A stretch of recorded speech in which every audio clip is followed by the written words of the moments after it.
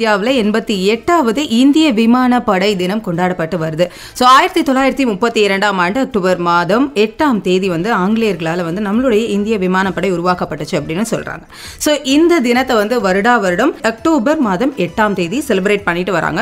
So இந்த நாளை சிறப்பிக்கும் விதமாக இந்த மாலை பொழுதுல நம்மளோட நேரலையில் இணைகிறாரு இன்றைய சிறப்பு விருந்தினர் லெப்டினன்ட் ஈசன் அவர்கள். வணக்கம் சார் வணக்கம்மா பண்பலையின் சார்பாக இந்திய விமானப்படை நல்வாழ்த்துக்கள் sir thank you and wish you the same Indian air force day வந்து எங்களுக்கு மட்டும் கிடையாது எல்லாருக்கும். This is celebration for every Indian citizen not only for defence person yes sir இந்திய விமானப்படை வந்து ராணுவ தளத்துல எவ்வளவு ரொம்ப முக்கியத்துவம் வாய்ந்ததா இருக்கு அப்படிங்கறது எங்களுக்கு சொல்லலாம். இந்த vast expanse of our country அதுதான் நம்மளோட பதிலே.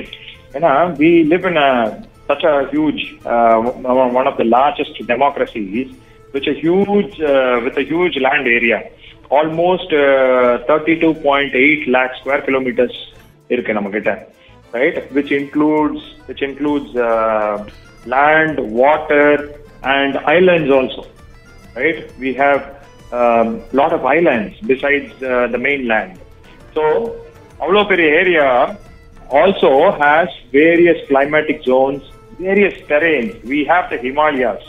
We have the uh, highest battlefield, the highest uh, high altitude battlefield, Siachen, is there in our country. அது மாதிரி so we have snow we have extreme deserts where there is extreme heat. We have uh, a place like Chirambujji, which has the highest rainfall, and we have all the climatic zones, all kinds of terrains, and uh, and uh, like I told you, we even have islands uh, around our mainland. So அதனால to protect such a large area to safeguard the air space of such a large area we definitely need a very strong air force in fact our air force is the post fourth largest and the both best in the entire world so அதுக்காக தான் நமக்கு இவ்வளோ பெரிய ஒரு ஏர்ஃபோர்ஸும் இவ்வளோ mighty ஏர்ஃபோர்ஸும் தேவை yes sir அடுத்ததான் வந்து பாத்தீங்க அப்படின்னா இந்திய விமானப்படையில பெண்களோட பங்கு எவ்வளவு தூரம் இருக்கு சார் பெண்களோட பங்கு அப்படின்னு எடுத்துட்டீங்கன்னா இப்போ பைலட்ஸே வந்து கிட்டத்தட்ட நூத்தி நாற்பது பேர் இருக்காங்க. அதாவது டோட்டல் பர்சனல்ல பைலட்ஸ் மட்டுமே நூத்தி நாற்பது பேர் இருக்காங்க. அந்த நூத்தி நாற்பது பேர்ல இப்போ ஒன்பது பேர் ஃபைட்டர் பைலட்ஸ் எடுக்கிறோம். அதாவது இந்திய விமானப்படையில பெண்களோட பங்கு வந்து வருஷத்துக்கு வருஷம் வந்து இம்பார்ட்டன்ஸ் வந்து அதிகமாயிட்டே இருக்கு.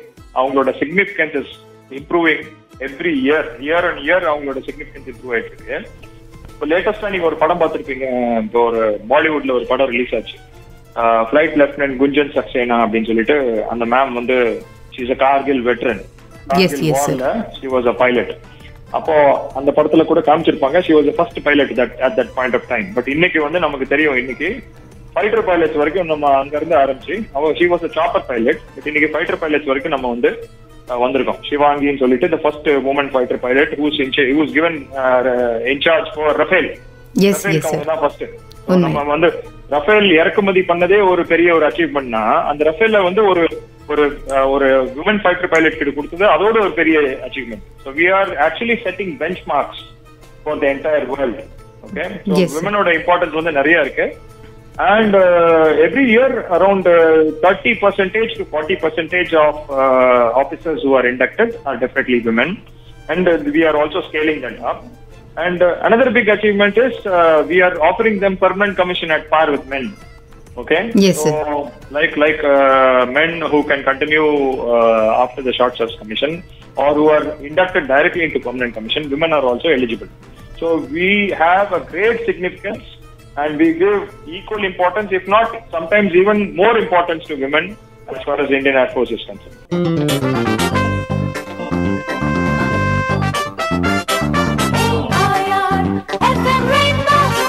நம்மளோட மாணவர்கள் இந்திய விமானப்படையில இணைய என்னென்ன வழிமுறைகள்லாம் இருக்கு அப்படிங்கறது எங்களுக்கு சொல்லலாம் ஓகே ஓகே இப்போ நான் நான் வந்து இன்னைக்கு பேசுறதுக்கு காரணமே வந்து நான் ட்ரெயின் பண்ண பசங்கள்ல பொண்ணுங்கள்ல நிறைய பேர் இந்தியன் ஏர்ஃபோர்ஸ் ஜாயின் பண்ணாங்க.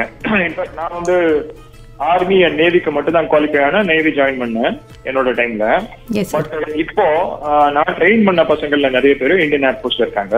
அதுல ஆஹ், கொஞ்சம் பேர் பைலட்ஸா இருக்காங்க. அண்ட் ஒரு சில பேர் ஃபைட்டர் பைலட்ஸாவே இருக்காங்க. ஸோ இவங்களோட இம்பார்ட்டன்ஸ் என்ன அப்படின்னு கேட்டிங்கன்னா ஃபைட்டர் பைலட்ஸ் போகணும் அப்படின்னா நீங்க ரெகுலரா எல்லா எல்லா ஆபீசரும் உள்ள எப்படி போறாங்களோ அதே மாதிரி நீங்களும் குவாலிஃபை ஆகணும். பட் அடிஷ்னலா ஒரு டெஸ்ட் இருக்கு. It is called CPSS computerise pilot selection system அப்படின்னு ஒரு டெஸ்ட் இருக்கு. அந்த டெஸ்ட்டை குவாலிஃபை பண்ணாதான் பைலட் ஆக முடியும். ஓகே சோ அதுல வந்து உள்ள போனதுக்கு அப்புறம் தான் வந்து யாரு ஃபைட்டர் யாரு டிரான்ஸ்போர்ட் பைலட் அப்படின்னு முடிவு பண்ணுவாங்க. ட்ரைனிங் ட்ரைனிங் முடிக்கிற டைம்ல தான் முடிவு பண்ணுவாங்க. I am very proud to say இப்போ லாஸ்ட் த்ரீ இயர்ஸா எனக்கு வந்து கோயம்புத்தூர்ல இருந்தே நிறைய ஃபைட்டர் பைலட்ஸ் போயிருக்காங்க. லாஸ்ட் த்ரீ இயர்ஸா அதுல ரெண்டு பேரும் டிரான்ஸ்போர்ட் ஒருத்தர் ஃபைட்டருக்கு போயிருக்காரு.